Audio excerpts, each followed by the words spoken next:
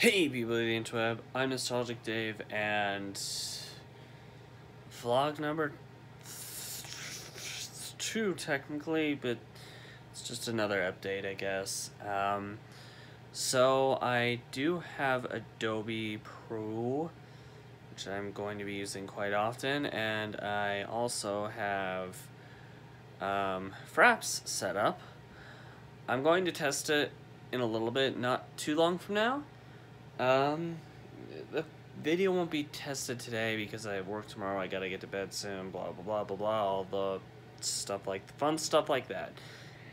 Anyway, um, yeah, there's that. All I'm waiting on is my next paycheck so I can get Bandicam slash Bandicut, and I should be good to go.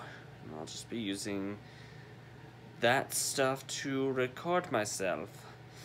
I do already have a camera, I have a microphone, so I don't really need another version of that right now. Maybe I'll get better ones in the future, I don't know. Anyway, there's that small little update. Um, in any case, thank you guys so much for watching this little video, if you're still here. uh, and I'll see you guys next time. Bye!